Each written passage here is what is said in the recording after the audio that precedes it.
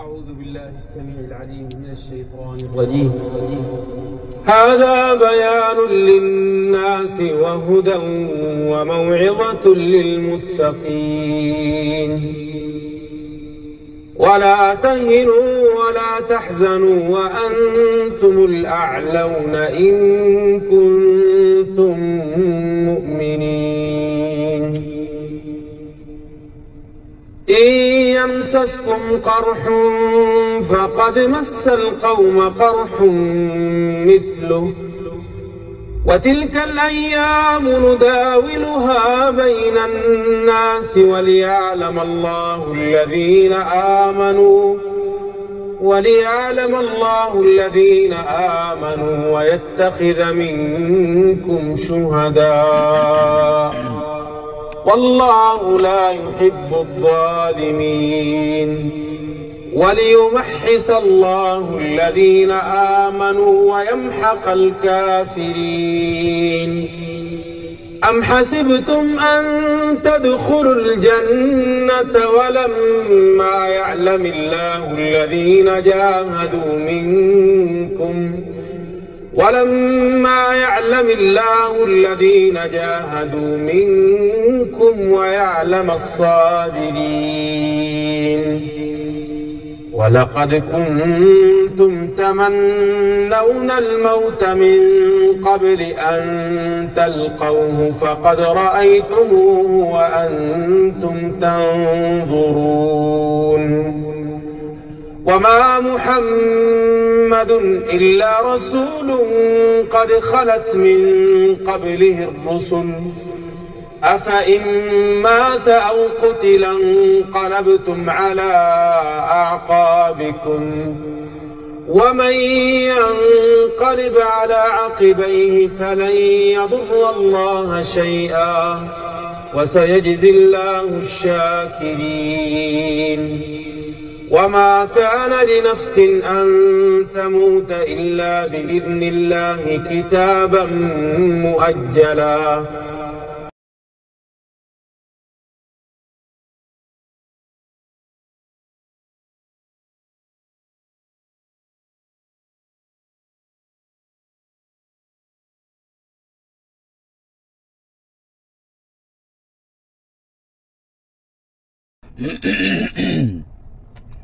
طيب آه، السلام عليكم. مساء الخير. الناس في الله إن شاء الله طيبين. كيف أحوالكم؟ طمنونا عليكم. كيف أخباركم؟ إن شاء الله بخير.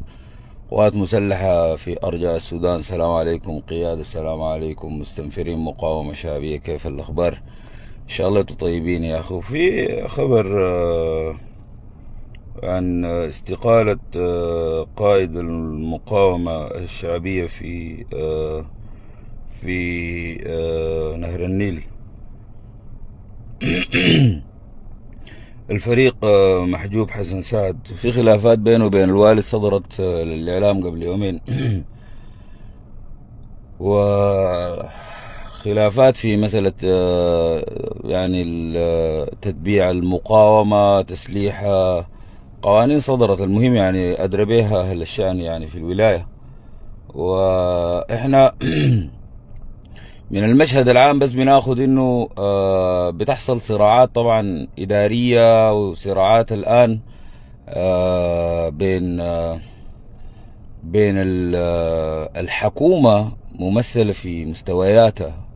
يعني الدولة هي محكومة بموظفين رئيس نواب مجلس سيادة ولاة آه، قادة بتاع شرطة في معركة الكرامة حصل تلاحم يعني.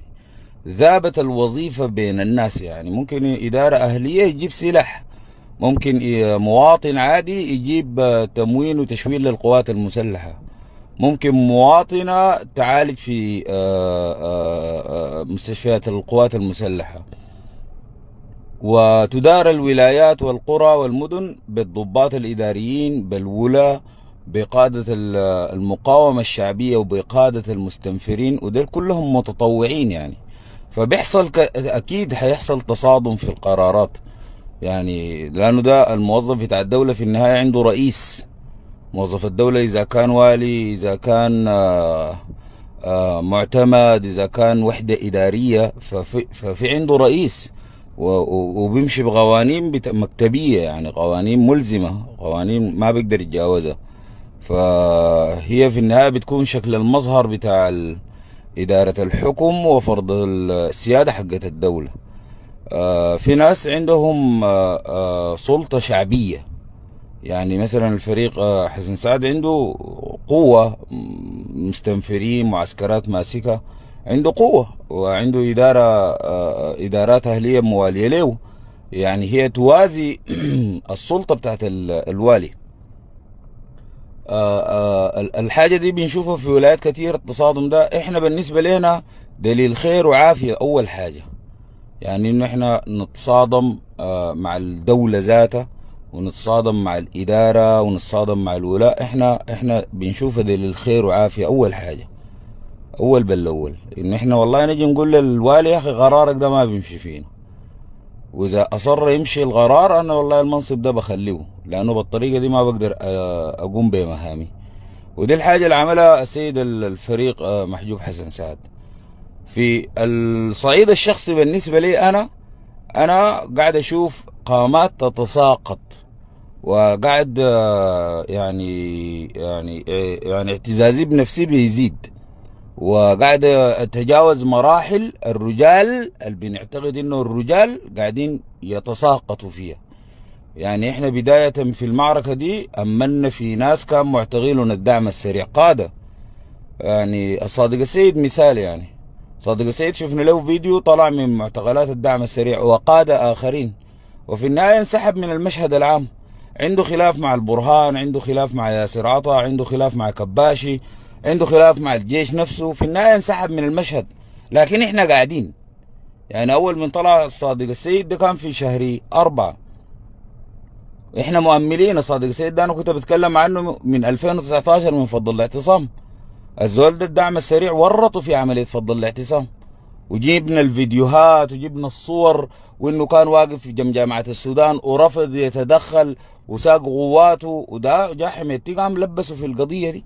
رغم إنه إحنا عندنا الفيديوهات اللي أنتم شفتوها بتاعت عثمان آه، عملياته وعبد الرحيم دلقوا هم الاشرفوا على عملية فضل الاعتصام. دي دي ما فيها اثنين ثلاثة. لكن يتساقط الرجال لأنه في خلافات بينه وبين البرهان في خلافات بينه وبين الكباشي في خلافات بينه وبين رئيس هيئة الأركان. طلع دبابيرك دي وشيل كلاشة خليك جندي في الميدان. لأنه حوجتك وخبرتك حوجتنا لخبرتك وإدارتك واصطفافك ده ده ده دي, دي حاجة في, في المعركة بنشوف رجال كتار بينسحبوا والله مشينا تكلمنا مع البرهان ما سمع لنا والله البلد دي كده حتضيع والبقيت فيها منه لكن؟ البقيت فيها منه قاعدين نقيف إحنا. شفنا كتار تساقطوا شفنا اعلاميين وفنانين في مستوى الميديا دي. واقفين معانا في الشهور الأولى والله جيشكم جيش الهنا وجيشكم جيش المنى. يومين ثلاثة والله يا اخواننا الواحد جاته نفسيات. يا زول امشي بنقيف إحنا واقفين. واقفين إحنا يتساقط الرجال. أزول اختلف معاكم. الحاجة اللي اختلفت فيها أنت معاه يا محجوب الحاجة دي أكيد في مصلحة المواطن. دي ما فيها اثنين ثلاثة. لأنه أنت كنت الآن بتصادم في الولاية وبتصادم في البرهان وبتصادم في الجيش عشان حاجة في مصلحة الولاية. أنا متأكد وأقسم عليها.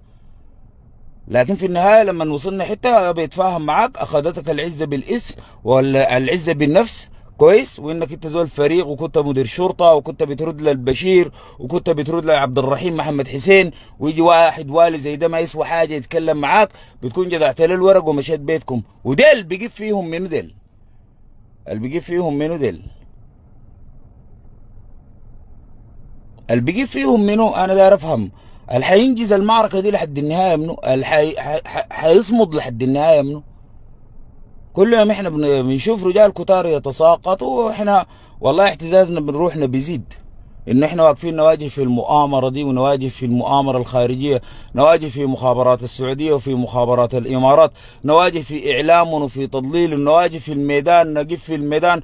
إحنا الدعامة يا سيد محجوب كانوا لما يطلعوا في في في أجساد شهداء القوات المسلحة بيسجلوا فيديو بيقول لي يا صرف عين جيشك. إحنا مرينا باختبارات وتجارب ما مر بها راجل راكزين. والصاحب يتعامل. أصله ما في اثنين ثلاثة. والله مهما مهما عملته ولسه أنا حالف بالله. والله وقسما بالله العظيم حتى الآن من إمكانياتي معاكم في المعركة دي واحد في المية أنا ما وصلت.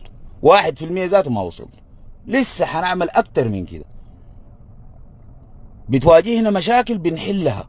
المشكلة اللي انت اختلفت معاه في الوالي ده لازم تكون انتصار الشعب ما في اثنين ثلاثة. أنا طبعا من من خلال الموقع أو الحتة اللي أنا فيها دي حاضر بسمع كلام كثير وفي ناس بيجي بيقول لي أسي أنا واقف متضامن مع محجوب حسن سعد. ما متضامن معه لأنه والله بعرفه أو هو زول ما بقدر أشهد بحاجة أنا ما بعرفه. ما بعرفه. تمام؟ لكن في الموقف ده هو مختلف مع موظف حكومة. شعاراتي كانت واضحة. أنا بقيف مع المواطن ضد الموظف بتاع الحكومة حتى لو الموظف كان صح. اتفقنا؟ وأنا بقيف مع المواطن ضد الجياشي حتى لو الجياشي كان صح. وأنا بقيف مع الجياشي ضد القيادة حتى لو القيادة كانت صح. إحنا بنقيف مع الضعيف. أصلا انتهى الموضوع. بنقيف مع المظلوم بنقيف مع المكلوم بنقيف مع الزول اللي ما عنده في يده سلاح. إحنا معه. بسم الله الرحمن الرحيم. من خلال التجربة بتاعتي اكتشفت إنه لازم أسمع الطرف الثاني.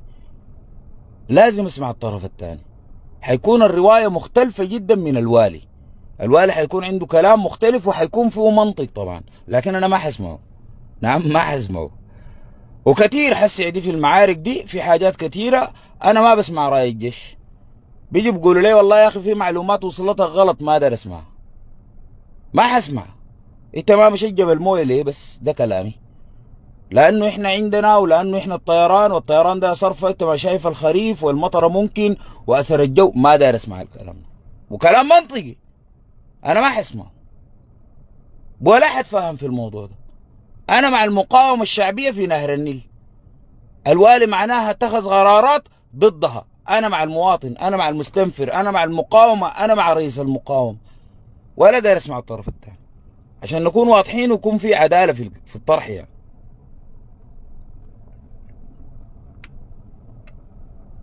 منحاز لأنه والله يا أخي المقاومة ومنحاز لأنه المواطن وكده أنت بتأثر على سير العدالة والإجراءات. لا لا معلش أول حاجة أنا شايلها أصلا مع الوالي.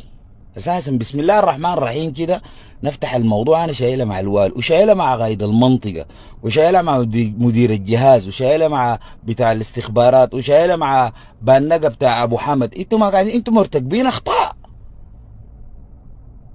بسم الله الرحمن الرحيم. المقاومة الشعبية والاستنفار قام في نهر النيل معالجة لقصور وأخطاء إدارة الدولة والقوات المسلحة. نقطة عربي انتهى. ما هو أساسا إحنا عملنا المستنفار في نهر النيل وعملنا المقاومة الشعبية لأنه الجيش عنده قصور وعنده أخطاء.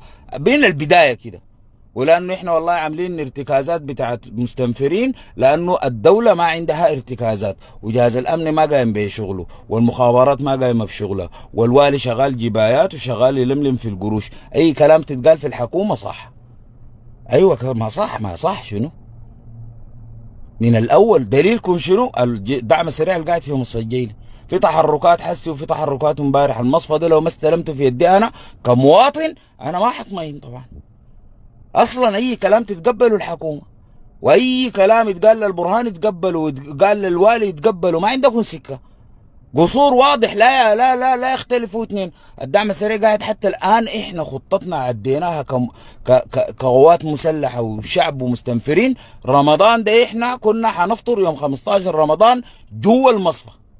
ده كلام الجيش ذاته. شفنا العربات ال 250 تاتشر شفنا العربات الواقفة في المعاقيل شفنا العربات المتحركة. المفروض يوم 15 رمضان إحنا نكون جوا. يعني من شهر 4 الفات ده إحنا نكون جوا المصفى. التأخير والقصور وصل إنه الدعم السريع يكون قاعد لي جوا حجر العسل عامل ارتكازات. بينه وبين الحامية بتاعت حمدان ده 3 كيلو ونص 7 كيلو ونص 16 دقيقة قال لك بشوارع الزحمة. انت ما عندك تل... ما تتكلم معي انت. ما في زول في الدولة يتكلم معي ما تكلم معي يا زول. ما هو ده القصور واضح. عرفنا إنه في ولايات مستهدفة بالمسيرات حصل ولا ما حصل. حصل. الوالي طلع اللاند كروزر الراكبه ده يبيعه ويمشي يشتري جهاز بتاع التشويش. دي دايرة ليها درس عصر. ليه إحنا عقولنا بتجيب في الحلول؟ ما في زول بيقدر يحل. انت راكب لاند كروزر 2024 23 وراك عربية بتاعت حراسة. ده بيجيب جهاز تشويش ولا ما بيجيبه؟ هسه لملم القروش ده أنا بجيبه لك حسه دي أنا تاني مد... شندي دي كل يوم مستهدفة بمسيرة. الموضوع ده إحنا والله يا أخي الدفاعات الأرضية تعاملت معاه ليه تتعامل مع الدفاعات الأرضية؟ ليه ما تبيع اللاند كروزر اشتري جهاز تشويش؟ ليه يعني. يا إخواننا صعبة دي. نزل الزول مدير مكتبك من العربيتين اللي عنده سوق واحدة. سوق واحدة مظللة وفيها حراسة. خلاص انتهى الموضوع. ما العربية ما أبها و... ويركبوا فيها خمسة أنفار لاند كروزر ولا ليكزس ولا بتاع. دايرين جهاز بتاع تشويش في شندي دايرين جهاز تشويش في عطبرة. ده داير له تفكير هناك. حج السلام عليكم. كيف أخبارك؟ إن شاء الله بخير. صرف يتعامل فيها طبعا. أي زول انت اشفت زول وإنت ربا وكر صح أنا عامل كده وأنا فعلا كده. ده موضوع ما غلط فيه. أنا بسأل يعني حس الاجتماعات الأمنية بتاعت الولاية مش بيقعدوا من الصباح بيعملوا اجتماع أمني؟ أي. مش بيجيبوا لهم ثلاثة وجبات في محله لأنه الرجال مجتمعين عشان يصلوا لرؤية أمنية. حاضر؟ مقرراتهم في النهاية شنو؟ كل يوم تاني كل يوم داخل طيارة مسيرة من الجيلي ماشية شندي تضربها الموضوع ده داير له جهاز بتاع تشويش. بس بيعمل كده بيقطع الشبكة بترمي الطيارة. عملتوا الحاجة دي؟ لا ليه؟ ما أنا حسألك ليه؟ ليه ما فكرت فيها؟ بتخطوا الحلول الأمنية بتكتبوها في الورقة بتصدقوها بترفعوها لحد بالسير لحد ما تصل البرهان قائد القوات المسلحة. البرهان يجي ينزل في شندي يقول لك اطمئنيت على الأوضاع في شندي واطمئنيت على الأوضاع في نهر النيل واطمئنيت على الأوضاع في في قري طيب انت بتشوف الحاجة دي؟ التقرير اللي بترفع بيكون مكتوب فيه شنو الحلول؟ القضارف كم مرة استهدفوها مسيرات؟ هسي اليوم ذاك القضارف لما عملوا النفرة حقتهم في الأسبوع اللي فات والناس كانوا ملمومة بيدفعوا في القروش عشان يدعموا القوات المسلحة جات مسيرتين ضربتهم في الاجتماع حقهم والرجال واصلوا في الاجتماع. يوم الطبيبة دي تبرعت بالذهب حقها. جات مسيرة ضربتهم. القضارف القضارف اللي فيها الصوامع القضارف اللي فيها تجار الغلة القضارف اللي فيها الزراعة المروية والزراعة المطرية. الزول بيكون عنده خمسة ألف فدان. بيمشي بشتت فيها ذرة ولا يشتت فيها قمح ولا سمسم وثلاثة شهور بيكون عندك خمسة ألف فدان.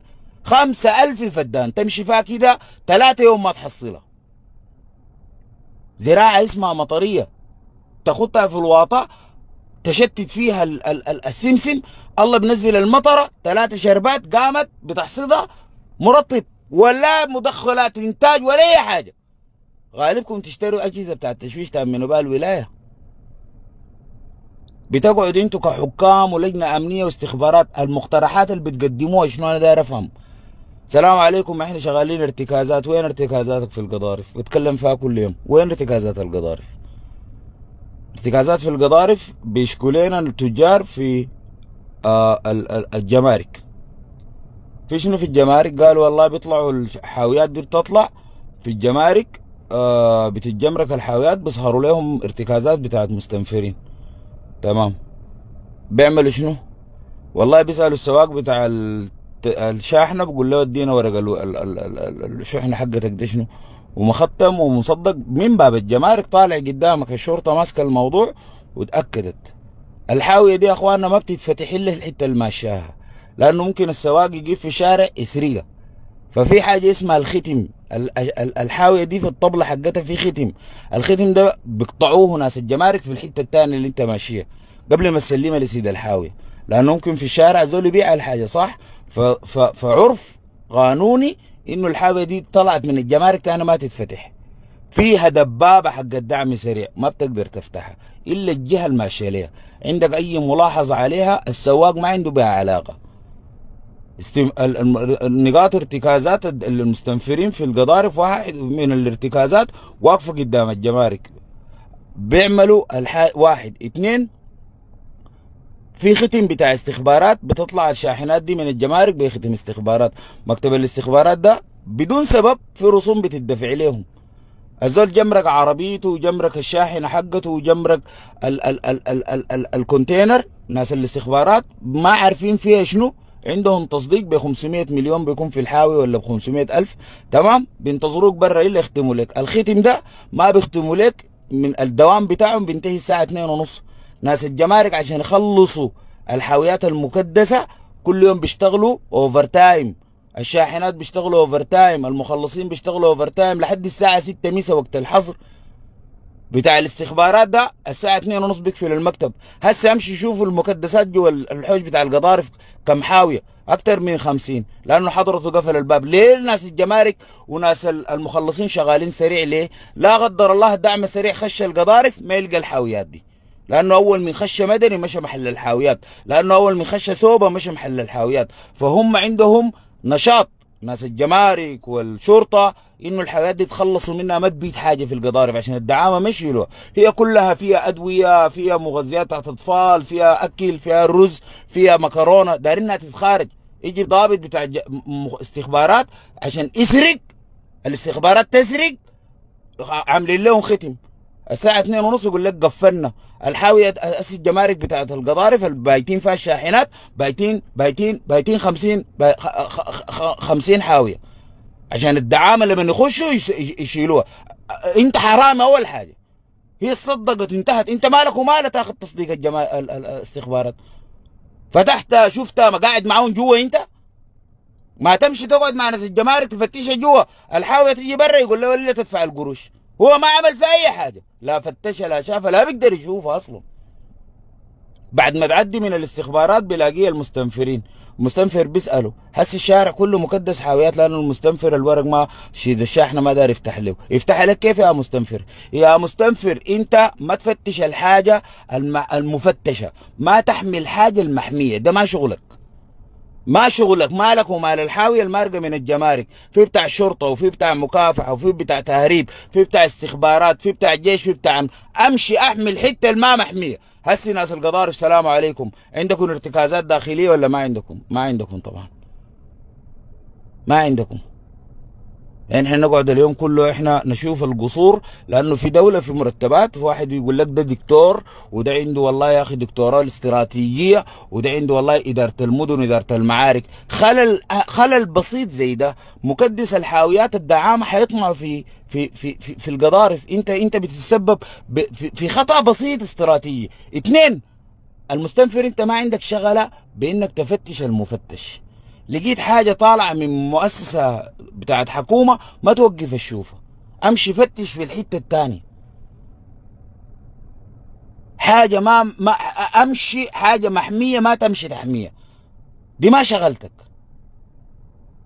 مستنفرين القضارف اعملوا ارتكازات في السوق. العربية الداخلة المارقة ده شغلك. الليلة بتقيفوا في السوق الشعبي 30 40 دفار فيه الناس ما معروفين هم شنو ذاته بيطلعوا وبينزلوا عادي. خلل امني زي ده ده, ده شغلك. معلومة زي دي ده شغلك. تقيفوا ارتكازاتكم تكون ثابتة داخل الأسواق.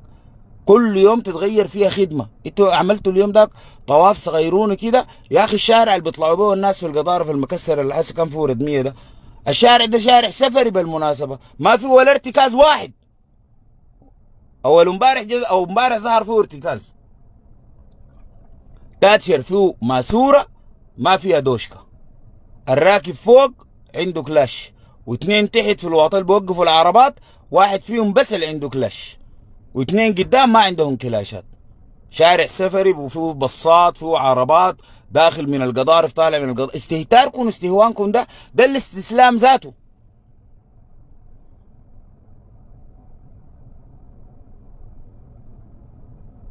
الموجهات اللي بتعمل الولاية لتامين الولاية هي شنو؟ لكن يجي يقول لك في النهاية والله يا أخي سقطت والدولة ما قايمة بشغله والجيش ما قايم بشغله وعشمتونا وسويتونا. يا إخواننا الحرب دي طاحونا.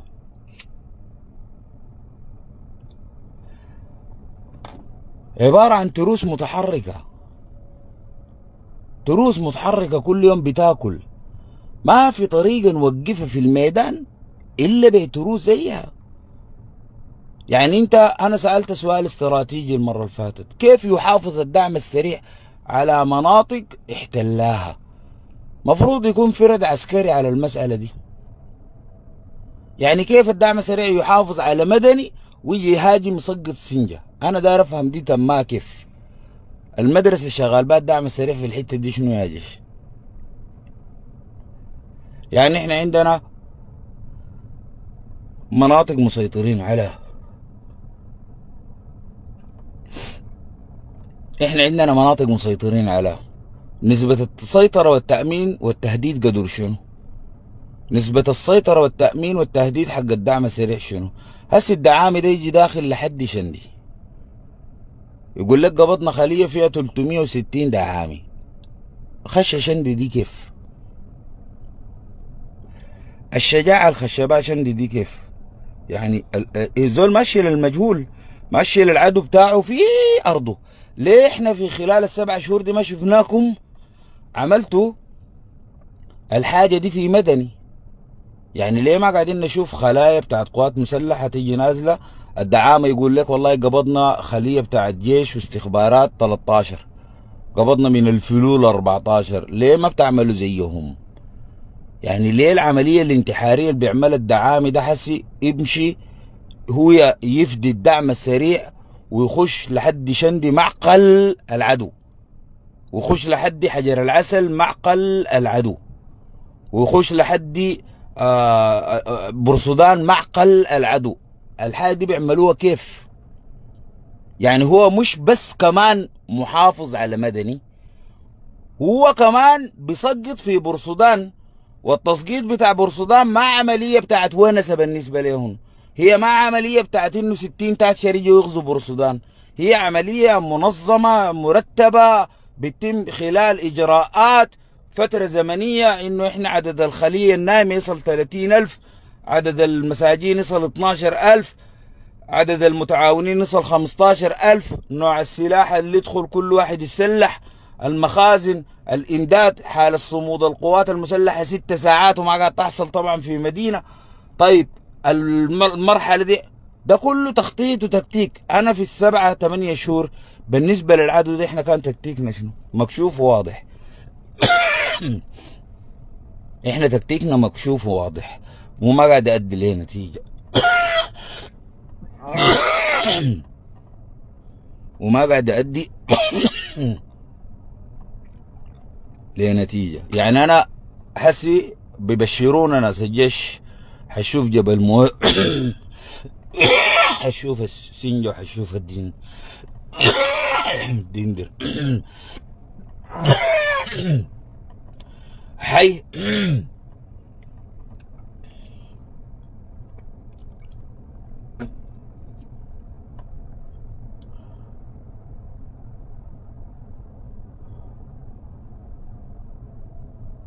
أنا داير أفهم. يعني مثلا ناخذ نموذج الدندر غسان أنت كنت في الترباس طبعا. الجماعه ديل ما بخلوك تسمعني. الليلة كنا المفروض نستضيف الشكري لكن ما خشنت عارفه نايم ولا شنو؟ يا غسان الناس ديل خشوا الدندر الجيش مرق انسحب منا. خلاهم خشوا جا لهم تاني يوم فجغ ميتين بعد شوية قاموا جو الجيش الجيش انسحب. تاني جاهم تاني الساعة خمسة صباحا. شغالين معاهم كده معنوياتنا في السماء. إحنا الأمور واضحة.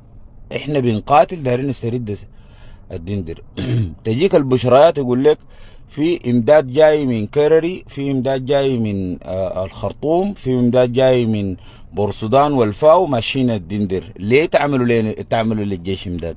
ما القوة الموجودة دي بتحسم الموضوع. خلاص انتظروا. حس الإمداد وصل سنار. يصل سنار طبعا هياخدوا الحقنة بتاعت الشنو بتاعت الانسحاب. في حاجة انت بتاع أنا ما اعرف ليه دي ما قادر استوعبها يا غسان.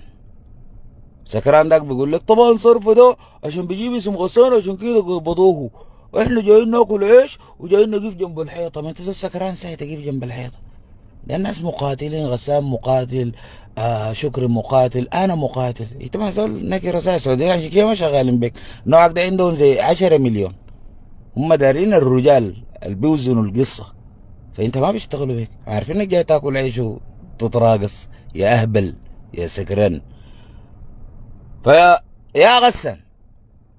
الناس ديل مرقوا من الدندر كانوا محاصرين الدندر ومحاصرين سنجة كل دقيقة إحنا نقول للناس بشرات استرداد سنجة بشرات استرداد سنجة. قالوا لا الجيش حيعمل إمداد قلنا خير وعديله وزين. مرق عمك الكاهن اللبيب ذاته سيد الحواشة. اللبيب أوكر الروك أمن أمن الأمن ذاته الجين ذاته ساق القوة وهو قطع الشارع. قلنا خلاص حاصرنا الناس وقطعنا لهم والخريف شغال معانا. ظهر لنا كيكة يرقص في الشارع. رقصة البجعة. شفته هو عامل كده دودة بس. وقالوا يوم الجمعة عنده عرس. راكب له في صرصر كده. أي صرصر تاني بالنسبة للطيران تكون مستهدفة راكب فيها كيكل تتبلى بس.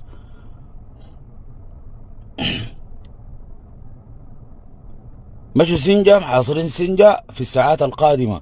بس دعواتكم كتروا الدعوات. أنا من الجيش يقول لي كتروا دعواتكم طوالي بطني بالطوم طوالي بس يقول لك اسمع الدعوات بس ساعات إن شاء الله حنرفع لكم تماما. والله العظيم مشوا خلوا أم سنجا وخلوا الدندر مشوا قاعدوا في مرخم علاقة مرخم بالميتين الحاصل في سنجا شنو؟ أنا ما قادر أفهم. أنا ما فاهم. يقول لك تعليم تعليمات شنو؟ أنت في الميدان بترد على البرهان مالك رد له مالك. اضرب لك الواحد اضرب واحد تضرب له مرته. مرته. والله اسمع إحنا في العملية ها؟ دقيقة. يا عوض. هاي جر ليل جر جر جر جر, ليل دبشك ده شوية. هاي معك منو؟ علوية؟ ولدت بيتين. هاي لك الله بس. هاي هاي خدت علي. هاي بس كده موزونة. هسه إحنا إحنا بس في معركة هاي. برجع لك يا برجع لك يا بيبي هاي. بس نكتل العدو ده. لا خلاص برجع لك. هاي لا خير. هاي الله يبارك فيك. لا بيجيب لك الطقم هاي لا خلاص. يكفر الخط تضرب له تاني. يا ربي ده استشهاد ولا شنو؟ ثلاثة يوم ما داير يرد عليه. أول ما يضرب لنا البرهان برهان بمسكل كده بس. إن بس بيقول إن إن جاءك فاسق بنبأ بس إن ساي ما بيسمعه. انسحاب انسحاب. اي قال انسحاب اي أرجع القوة كلها.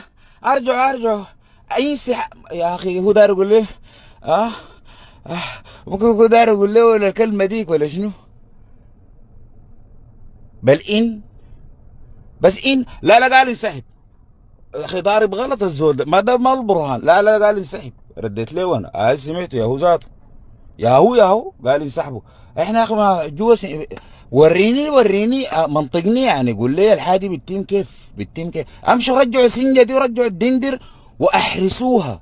في عقيدة هنا في الموضوع ده في في خلل حاصل. لازم إحنا نلقى له حل.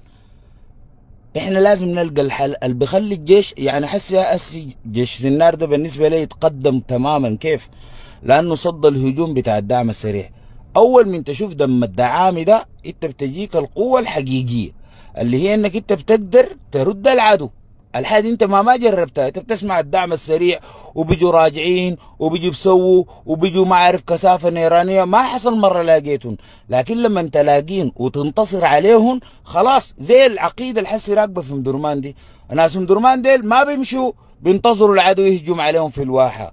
ولا بينتظروا العدو يهجم عليهم في الفتيحاب. ولا بينتظروا العدو يهجم عليهم في مبدات. لا لا جيشنا متحرك بفتش العدو.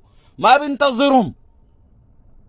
العقيدة دي جات في مدرمان ليه؟ لأنه إحنا صدينا للعدو، لأنه إحنا خضنا معاهم معركة، لأنه تعلمنا العدو طريقته بيتعامل بها. كيف، إحنا ما تعلمنا المعارك دي في مدرمان لما يحكوا لكم عن 500 معركة في مدرمان، نتيجتها كانت شنو؟ إنه إحنا بايدين نعرف العدو ده بفكر كيف، بفكر واحد اثنين ثلاثة حناخد له العلاج، واحد اثنين ثلاثة، لكن إنه إحنا بس أول قال إن طوالي انسحاب، قال انسحاب، يا أخي البرهان ما تم قال انسحاب يا صرفة. يا أخي ما قال يا أخي قال انسحاب والله العظيم. ما قال إن معناه انسحاب. انسحبوا. يا حبيبنا ما تم التليفون ضارب غلط.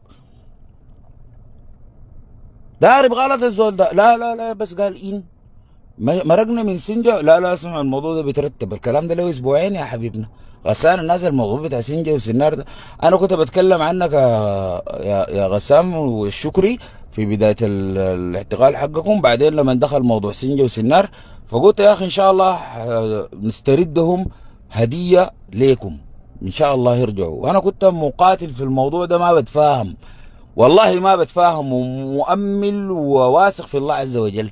إحنا كل يوم والله الجيش يتقدم حتة. ليه ما تتقدم حتة؟ أمروا امشوا لين عديل في سنجه بس أنا ده اللي بفهمه. أمشوا للدعامة ديل في سنجه عديل. يا اخوان إحنا منطقة بديلة. إحنا الحتات اللي ممكن تأوي الناس يا جيش يا برهان. أنا أوريك المسؤولية يا جيش الشارع المسؤولية اللي عليكم كبيرة. لو شفتوا الفيديو بتاع المرة في السفارة السودانية في مصر والناس بازدحام والمنظر حاجة بطالة حاضر. الناس طلعوا فيها وجروا. المرة دي واقفة. لا عندها ولي ولا عندها زول يدعمها ولا عندها زول يخفف عنها إنها ما تمشي السفارة أصلا لا ولد لا لا لا لا. كل الحاجات كل الناس بظروفها يعني. فهي لو شفت المنظر ده أنت قسما برب الكعبة وجلال الله وعزة المعبود. لو شفتوه بقلوبكم الصافية والله ما تقيفوا إلا في قصر كاكا. قسما بالله العظيم.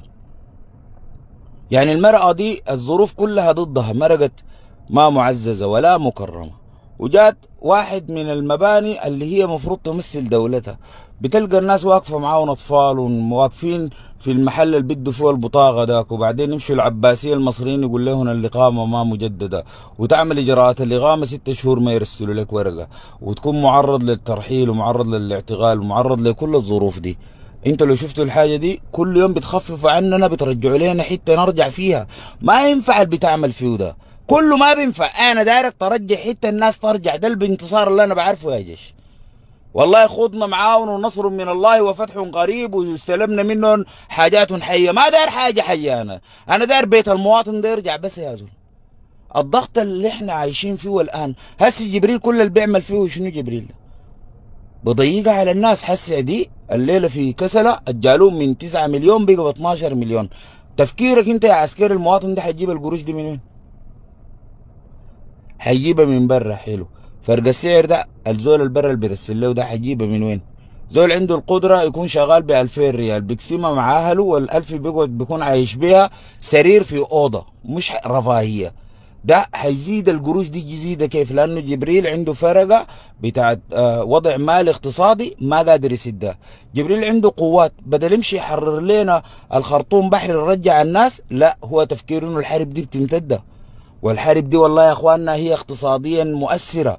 وحنجيب لكم موارد من وين؟ كلامك ده يقولوا لي موظف في وزارة المالية؟ ما يقولوا لي جبريل. عندك قوة ولا ما عندك قوة يا جبريل؟ أي أنا أفضل لي هنا أدمر باقي اقتصادي وأزيد السوء الوضع سوء ولا أرجع بحري؟ أسهل لي ياتا لو في حمار فيهم بيفهم الأسهل ياتا إنه إحنا كل يوم نمشي نبتدع ضرائب ونبتدع هسه الكلام الطالع بتاع وزير الإعلام ده في ضرائب وفي جمارك جديدة وفي ضغط على المواطن حيحصل.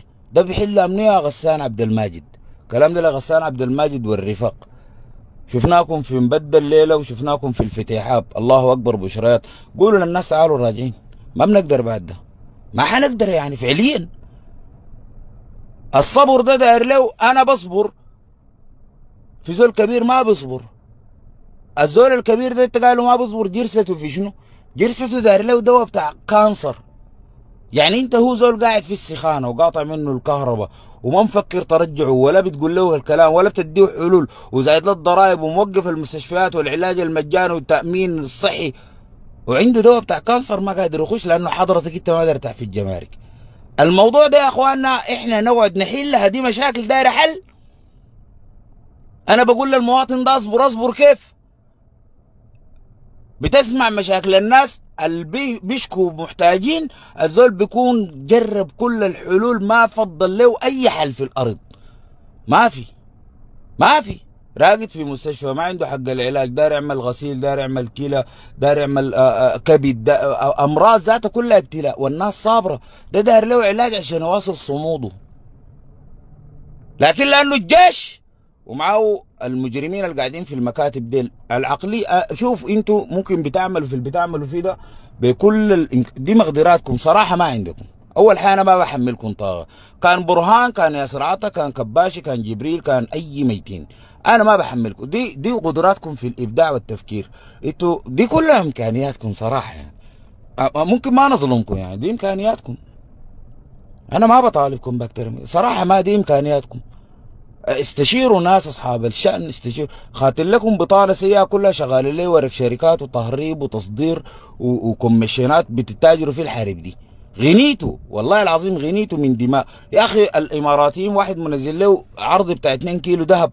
المواطنين الإماراتيين كتبوا له دي ملطخة بدماء الشعب السوداني ما بنشتريها. لكن أنتوا بتعرفوا تعملوا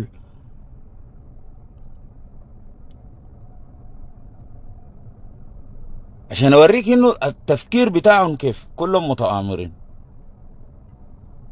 إحنا دايرين افكار يا برهان تجاوزنا النهر. نقعد مع بعض كده نتجاوز النهر. اتكلمنا في الجسر بتاع جبل أولي. الجيش قالوا لنا يا أخي الجسر ده إحنا عندنا فيه راي ما تتكلموا فيه. قلنا خير وعديل وزين. الجيش كان ممكن يكون بيحاول يخفف الضغط بتاع الدعامة من حتة يخليني يمشوا حتة ويحسمون. يعني دائما أنت مثلا بتخلي منفذ للدعامي يمرق به وتجي في حتة أفضل. أنا أقدر أتعامل معاه بنوع سلاح مختلف وأتعامل معاه ما يكون فيه مدنيين. يعني مثلا حسي أنا لو قلت جبل أولياء ما بسأله بخليه نطلع الصيد يا صاحبي. بركبهم طيران أيوه أتفاهم. أو صواريخ بعيدة بعيدة المدى. أو صواريخ موجهة. اخليه نطلع عليه من جبل اوليا ومحيط الجبل عشان ما أضرب الجبل ده أرمي الكو... السد أغرق الدنيا والعالمين. هيدا أنا اتفهمها قطعوا الكوبري لكن بهناك انت ما قاعد تتعامل معهم. هنا في خلل. انت خليتهم مرقوا ويبقى في خلل. قال لي يا أخي أنا مخليه ونطلعوا المواطنين ذاته يلقوا منفذ. في شهادة حق أول حاجة في مواطن الخرطوم الصامت. المستنفر. القاعد مع الميليشيا دي 14 شهر قاعد معاهم في ظروف عجزت القوات المسلحة إنها تقعد في ظروف زي دي. يعني حسي الضباط اللي قاعدين في معسكرات كان مدرعات كان غيره رغم البسالة اللي بيقدموها دي. لكن ما بيقدروا يقعدوا مع الدعامي والله ما تقعد دقيقتين ما تقعد معه طوالي بتعمل عملية زي أسر القيادة العامة دي. بيفتحوا الشارع بتاع النيل ويتصوروا ويجروا القياده ما بيقدروا يواجههم ما بيقدروا يقعدوا معهم. لكن في مرة سودانية بتقعد مع الناس ديل 14 شهر معاه بنات تحافظ على في زول عنده زول مريض ما بيقدر يتحرك مقعد ما بيخليه بيمشي. قعدوا مع الناس ديل وقاعدين مع الناس ديل. دي صمود وبسالة. منو اللي قال لكم إنه مواطن الخرطوم داير له منفذ يمرق به في جبل أولياء؟ كلام ده غلط يا جيش. أضرب الكوبري ده لأنه الكوبري ده أنت شايفه إنه الدعم السريع بيعمل به في شنو؟ أضرب الكوبري بتاع مدني أضرب الكوبري بتاع رفاعة وقت غلبك الفترة اللي فاتت دي يا آدم هارون. تخش مدني أضرب الكوبري. لأنه طلعوا من مدني بالكوبري ده مش حشروا للناس في في في سنجة. لأنه حضرتكم الخطة والقيادة ما وافقت. ميتين أبو أم القيادة ذاته. ما تضرب الكوبري ده أنت طيار. والله يا أخي التوجيهات بلا توجيهات بلا بتاع رش الكوبري ده وتعال نزل له الطياره خليه يفتح ميتين. وصغ لاي زول تركب طيارة يعمل عملية انتحارية زي دي وصغها بقى ونزلها صوره ورسل الفيديو لواحد صاحبك. خلي محمد عثمان الحسين يفتح خشمه. منو اللي قال لك المواطن في جبرة ولا في جنوب الحزام ولا في المعمورة ولا في الصحافة؟ داير يمرق أصلا عشان أنت تعمل له منفذ انت اللي بتجبره يمرق إنت ده. انت اللي قاعد تجبره تأخير القوات المسلحة بتجبره صبروا على الناس. يعني أي مواطن في خرطوم دي في السودان بيقول لك إحنا راجين الجيش. الجيش بيجي قلنا خلاص عديلة وزين. الناس بقدر المصاريف الفيدي بيمشوا يشتروا لهم شوال بتاع سكر. شوال السكر جبريل خدت له 100 جنيه في الدولار الجمركي. سعر السكر زاد 12 مليون. بسم الله الرحمن الرحيم كده. يعني زيد 5 مليون الحاجة زيد لها 2 مليون. معقولة؟ لا لا بيزيد طوال التجار ما ما عندهم حاجة. بما وقت الغنى. الغنى غنى والما غنى ما غنى. منو اللي قال لك المواطن داير له منفذ يمرق انت؟ المواطن قاعد حارسك انت يا جيش. المواطن قاعد حارس السودان دي. المواطن منتظر القوات المسلحة تنتشر. لأنه التعليمات ما جات إحنا ما بهمنا تعليمات الجيش أنا ما بهمني انه افقد خمسة الف الفين من القوات المسلحة ما بهمني أنا ما دار افقد المواطن ده ال ال النموذج اللي بيصنع امه ده اللي تحمل الظروف أنتوا في زول متخيل انه الخرطوم قاطع كهرباء سبع شهور في زول متخيل إنه لا كهرباء لا موية سبعة شهور معاك أطفالك معاك نسائك معاك مرتك قاعد منتظر بس يدينك رافعة السما. أكل وشراب قاعدين بالتكية وبالحله بالحلة بوزعوا في البليلة. ده صمود! إنت قاعدين إنت وجبريل ومعاه الرئيس هيئة الأركان والبرهان دايرين المواطن ده ميتين ويطلع إنت المنفذ ده ما عامله لك دعامه إنت داير تفضي الخرطوم من القاعد ده ذاته. قاعد حارسك جنب ال... زول قاعد في جبره منتظر آآ آآ آآ نصر الدين في المدرعات. قاعدين كده. جاء الليلة الليلة ما جو. بكرة جو؟ لا لا ما جو. بعد بكرة جو افتحوا الباب يا أخي الدعامة الخرطوم فضت. الخرطوم فضت ثلاثة أسابيع الفاتت يا ياسر عطا. ياسر طلع قال لنا يا أخي والله مصر ولا هي الإمارات ودولة الشر عارفينها دولة الشر يا ياسر. ما ما سألناك من دي. دولة الشر والله وشيخ ال... ما إحنا عارفين إنه شيخ الشياطين. حضرتك أنت المفروض تقطع الكوبري ده. ال- الخطة اللي وضعتها شنو؟ المحاولة الأولى والثانية فشلت في شنو؟ جيش الكدر لما نفتح الباب عارفين جيش الكدر في زول ما عارف جيش الكدر ده؟ المفروض يفتح الباب عشان يمشي يلاقي الإشارة. الموضوع ده حجة أنت عارف المعلومة دي ولا ما عارفها؟ يا سيدي الكريم إحنا دايرين 1 2 3 قاعدين نضحي بأعراض الشعب السوداني. ودماء الشعب السوداني وممتلكات وثروات الشعب السوداني. لما نجيب ليه الدعامي صورة من مخزن محاصيل وغلال في سنجة. يجي ماشي في النص الزول ده ما بيتشاف. المخزن ده ارتفاعه أكتر من مبنى بتاع عشرة طوابق. آلاف ملايين الأطنان من استلموها خمسة ستة دعامة. ما بتخجلوا أنتوا؟ ما بتخجلوا؟ انت جياشي حتاكل وتشرب من وين ذاتك؟ كده خلينا من الدعامي ده. خلينا من المواطن. ليه بتفرطوا في الحاجات دي بالسهولة دي؟ ليه ما في استرسال وتلف وتجي راجع تاني؟ الدعم السريع إحنا لو جيناه بكوبري بيكا حيعمل التفاف. ليه أنتوا ما قاعدين تعملوا التفاف ولا تفاف؟ الاثنين ما بتعملوهم مالكم. ما تعمل له التفاف انت ذاتك. مخليه ليه؟ أنا داير اعرف دور اشرح لي ليه قاعدين نخليهم. ليه؟ لماذا قاعدين نخليهم؟ لماذا الخطة اللي بتضعوها دي شنو؟ أنا داير أفهم الخطة دي نتيجتها شنو. هسه اللي بتعملوا فيه أنتوا التضييق وعدم ال- ال- ال- ال- ال- التقدير في الموقف. يعني السياسة اللي بتتبعها جبريل دي إحنا نرفضها جملة وتفصيلا. إذا جبريل هو أخذت موازنة بتعتمد على إنه الاقتصاد الكلي والاقتصاد المعارف الجمعي والفردي والمدخلات ال- أسمع لا تدار المعارك باقتصاد قاريه في جامعة في اليابان. الحرب ما بيديروها كده. هسه الدعم السريع ده بيدير اقتصاده بشنو؟ هو ما دولة قال قال مؤسس وقال عنده يعني عنده عنده عنده أولادهم بيجيبوهم من تشاد والنيجر. بيأكلون وين؟ بيعالجوهم كيف؟ بيرحلوهم كيف؟ دي ما دولة. قادرين يعملوا الحاجة دي كيف؟ والبرهان جبريل دكتور جبريل. ما قادر يعمل له حاجة دي في مدينة زي كسلة. اتفضل. الدعامة دي شغالين بقى اقتصاد حسن. قاعدين ياكلوا خضار وبياكلوا سمك وبياكلوا فراخ وبياكلوا سجوك وعندهم كهرباء وجنريترات ووقود بيتحركوا بيه ووقود بيتحركوا بيه بيفتحوا بيه ال- ال- ال- الكهرباء ده ال- ال- الجنريت وعندهم نت وعندهم أي حاجة. قادرين يديروا الموضوع ده كيف يا جبريل؟ اقتصادنا الكل شغالين بشنو في اقتصاد شعبوي شعبي. الاقتصاد الشعبي ده أنت جبريل المفروض تغير سياستك ونظريتك دي تنزل بيه الميدان. أسي ديل البنات ديل اللي في أم درمان اللي بيعملوا التكاية ديل بيقدروا يديروا الموقف ده كيف؟ بيأكلوا عشرة ألف. بيأكلوهم مر- مرتين في الأسبوع. بيجيبوا الحاجة كيف؟ بيشتروها كيف؟ بيديروها كيف؟ بيصرفوها كيف؟ بيقسموها كيف؟ بينظموها كيف؟ دي أنت كدولة ما قادر تعملها كيف؟ أنا داير أفهم. أنا أفهم.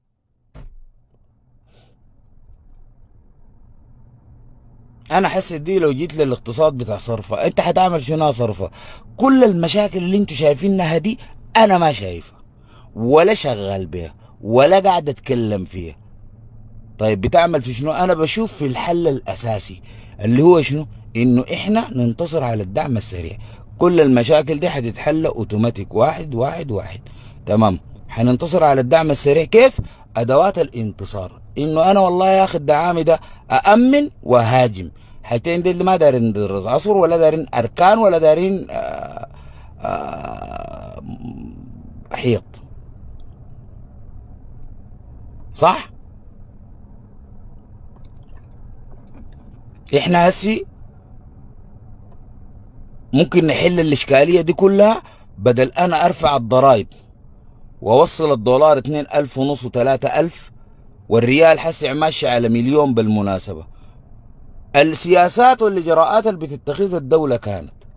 زمان لما يحصل تضخم أو زيادة في سعر الدولار مش بيفكوا ناس الأمن وبيفكوا ال... بيشوفوا الدولار الزيادة الوه... الزيادة بتاعت الدولار ال 500 الأخيرة دي وهمية ما فيها سبب. ما في أي حاجة اتغيرت ما في مبرر. تجار في السوق زادوها. السياسات اللي اتخذتها الدولة اتخذها مدير جهاز الأمن والمخابرات. كان شنو؟ والله طبعا هو صرفه مشغول يا أخي.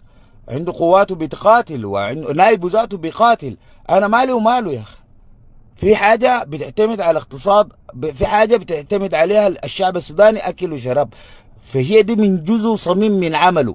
ما قادر على الملفات الكثير إحنا ما جابرين زول.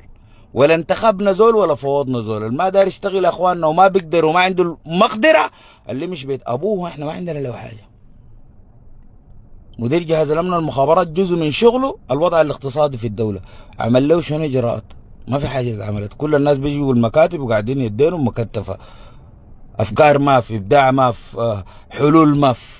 كل اللي بيعملوه يقفوا لك في الارتكازات. قبضوا لين ثلاثة عرقي اثنين هناي وكلكم بتترشوا. وحياه الله جد. هسي واحد عامل تقرير بتاع الخمسة شاحنات اللي فيها تصريح وتصديق طالع من الدعم السريع مرقت منا الضعين؟ جات داخله لحد نهر النيل. قبضوا المستنفرين منها واحدة وخمسة أربعة منهم اختفوا. فيها واحدة فيها تصديق بتاع 70 جركانه حقت بنزين. الواحدة الجالون الجركان اللي بيشيلها 25 جالون ولا 50 جالون ديك دي شايلة 70 خشت حسي نهر النيل جابوا وقود خطوا قطعوا بيه كل الارتكازات تخيل التصديق بتاع الارتكاز بيطلع تصديق السواق بتاع الارتكاز مصدق طالع من وين؟ طالع من المكتب بتاع الدعم السريع يعني حتى قراية ما بتعرفوا تقروا مختوم من الدعم السريع ما بتخجلوا أنتوا؟ ما بتخجلوا؟ حتى بعد ما في الارتكاز ده برضه إنجازاتكم كلهم قاعدين منتظرين حاجة واحدة تحصل في نهر النيل. إنه نهر النيل حتسقط. ليه حتسقط؟ لأنه الوالي ما متعاون مع المستنفرين ولأنه غايد الحامي طابور ولأنه البرهان ما شغال به. قاعدين بس منتظرين الحاجة الكعبة تحصل. يا اخوانا طيب ما نتحرك نجد حلول تعالوا نتحرك نوقف الحاجة. أول حاجة كلامنا هنا للمقاتل والمحارب محجوب حسن سعد. أسحب استغالتك دي وقاتل في معركتك دي معركتك أنت. والحاجة اللي في مصلحة المواطن برضا الوالي وغصبا عن البرهان تتم. طلعوها في الإعلام إحنا قاعدين نسوي في شنو؟ طلعوها في الإعلام إحنا ما جيشكم إحنا ما سندكم. الكلام بتاع الوالي فيه ضرر للولاية فيه ضرر للمواطن ما حيمشي لو كان الوالي هو ذاته الوالي كان جمال الوالي ذاته. برضه كلامه ما حيمشي. لكن في أول اختبار كلهم يتساقطوا. كل واحد يشوف له الركن يجري فيه ويقول لك إحنا انسحبنا من الحياة العامة الدولة ما دارت تسمع كلامنا. وهسه إحنا قاعدين في زول بيشاورني أنا حسي هسه البرهان ده قاعد يشاورني؟ العمل الخاص ده قاعد يشاورني؟ مستنفرين قاعدين يشاورني؟ ما بطلع بقول الصح رضيت غصبا عنك في موقع مسؤولية حتسوي الصح. ما حخليك. ما عندي معك حاجة شخصية أنا ولا داير أعرف فيكم زول أصلا ذاته. خلقكم دي ما داير أشوفها. بينه وبينك العمل العام والعمل الخاص. عملت الحاجة صح مرحب. ما عملتها تشات من حتتك دي بزفة لما أنت آمن. ليوم الدين تقعد؟ زفة كده ليوم الدين تذكرك؟ تذكروك بها الناس.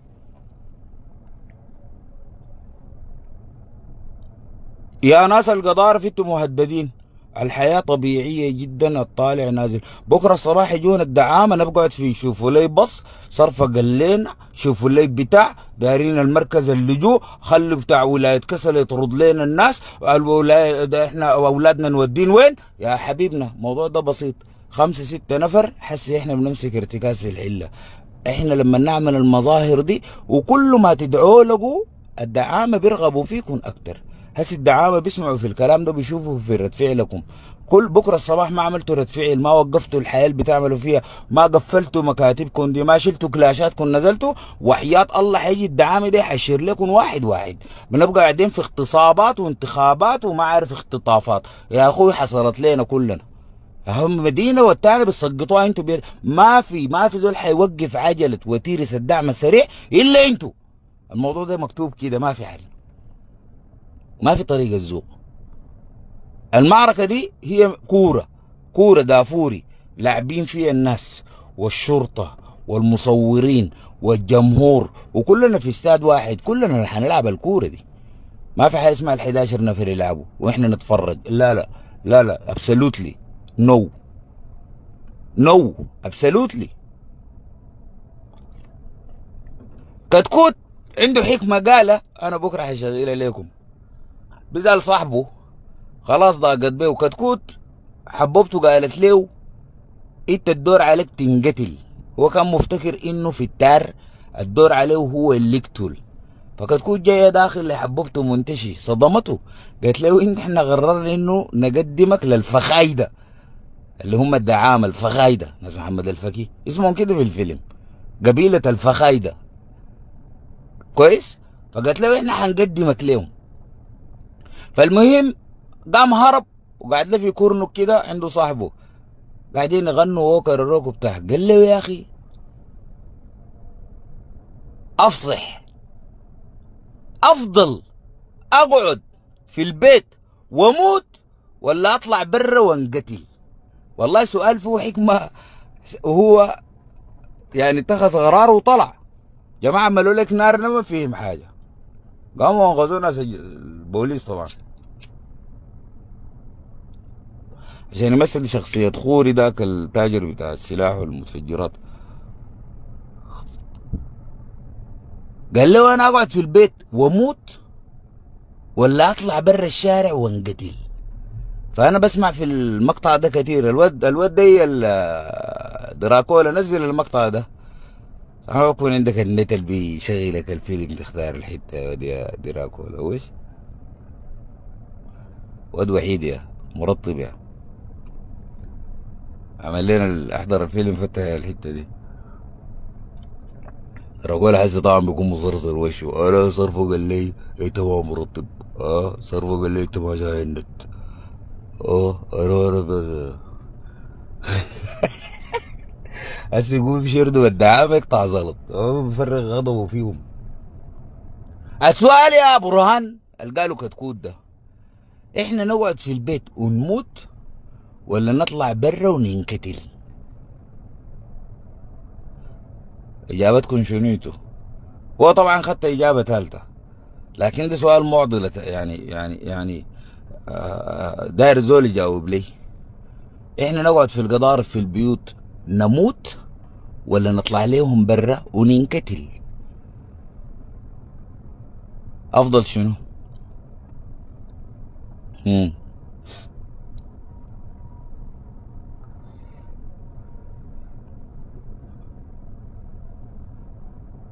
فكرتوا؟ نزل البنات. القمر قال لي الله يا صرفة جماد اللي بحبوك والله. والله الرججل والنسون كله انجد عليه. والله يا صرفة قمر حبيبنا يا عمل لنا مزدار عليك الله. وين فارس؟ المزدار اللي قلت لك سويه ولا الشباب دول وينها فارس؟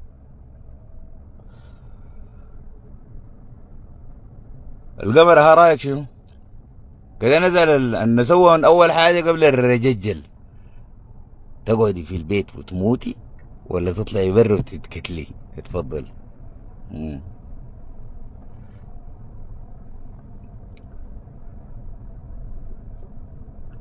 فهو قرر إنه يطلع برا يواجه.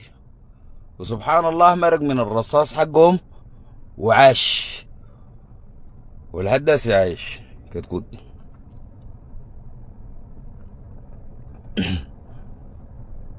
يا ناس القضارف الموضوع ده بسيط. موضوع إنك أنت مطنش وماشي في الشارع تيجي تقول لي والله ما في ارتكازات. ارتكازات دي بتقوم على أكتاف أبناء القضارف. انت اللي ارتكاز الماشي ده.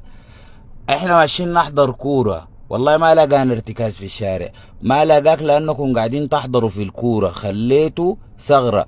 بكرة الصباح نتيجتها حتكون عربيتك حتشال. مرتك حتشال. أمك ذاتها حتشال. تمام؟ قروشك حتشال. حتجي في النهاية تقعد تحت شجرة. لا الدولة موفرة لك ملجأ. وبعد ما يودوك مدرسة حيطردوك شر طردة. والله يتعاملوا معاك تماما كما الحاجة الما كويسة. تمشي مدرسة يكشوك تمشي مدرسة ولسبب تافه. لا يسوى. إنه والله واحد داير يعلم ولده يطلع واحد تاني ومرته من الفصل. يدعوك في الشارع وحياة الله لما تفهم حاجة. دي الحاجات المتاحة قدامنا حسي دي الحياة المتاحة قدامنا. لأنه إحنا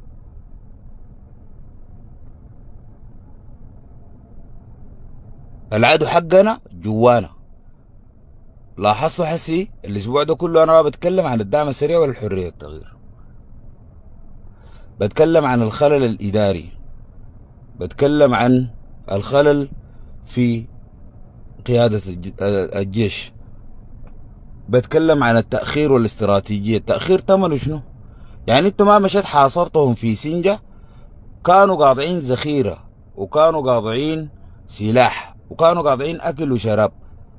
وكانوا قاطعين قروش حقت المستنفرين حقين الدعم السريع. لقطوا القروش من سنجة بيجيبوا الزول قاعد في الواطة في شوالات كده خدت الزرقدي الزرقدي خدت منها رزم ممكن تكون تريليون جنيه.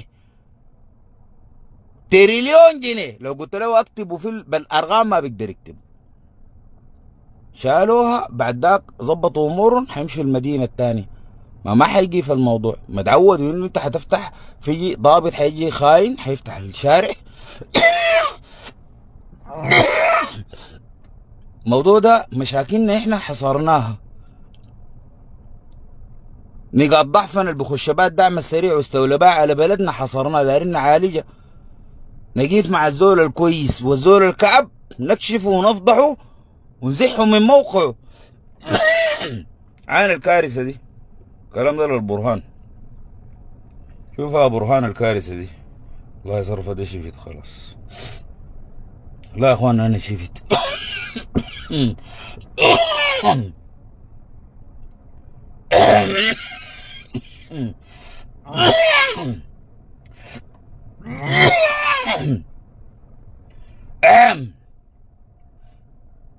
آه.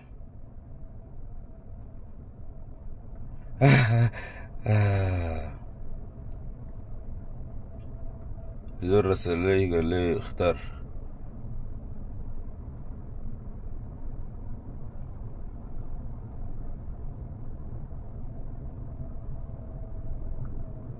اللي اخترته. طيب أنا الكارثة دي.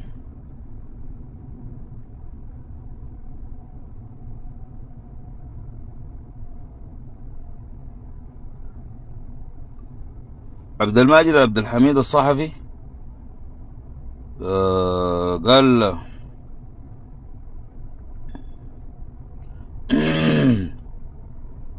قال لا أعرف من أي مكان يدير والي ولاية سنار ولايته الجريحة. قبل أيام هاتفت مستشار والي سنار. عن مكان تواجد آه عن مكان تواجد آه عن مكان تواجد آه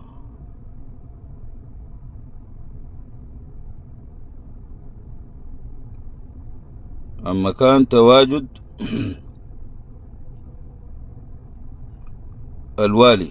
الأخ ياسر الشوكة حوت أخبرني بأن الوالي في مكان آمن بولاية سنار لكن مصادر متطابقة تفيد بأن الوالي توفيق خارج حدود ولاية سنار والي سنار عرد يا برهان. وعمل لجنة لإدارة شؤون ولاية سنار طلع فيها مرسوم. المرسوم مكتوب تشكيل لجنة. تشكيل اللجنة من المذكورين السيد الضابط الإداري مزمل عبد الصادق فرج فرج الله بشارة رئيسا. الوالي عمل لجنة لإدارة شؤون الولاية وما كتب فيها اسمه. أداها لضابط إداري يديرة. إحنا قلنا القائد حقنا الوالي هو اللي بحدد لنا منو إيه المواطن بعدين يبقى جياشي ولا يبقى دعامي. فوالي سنار حسي يا برهان عرد. تفتكر إنه سنار حتصمد؟ أنا بسألك. فمواطن سنار بكرة الصباح تمشوا الحامية تمشوا للربيع ده تقول له خش جبل موية ما في حاجة هتأمن ولاية سنار إلا دخولكم جبل موية. بس. ال ال ال ال ال ال ال ال ال ال القائد بتاع ال آه، قائد الدعم السريع اللي مات في في في في في في مدني ده اسمه منو؟ شنينة آه خلاص اسمه شنينة بس عملوا لنا بو ارضي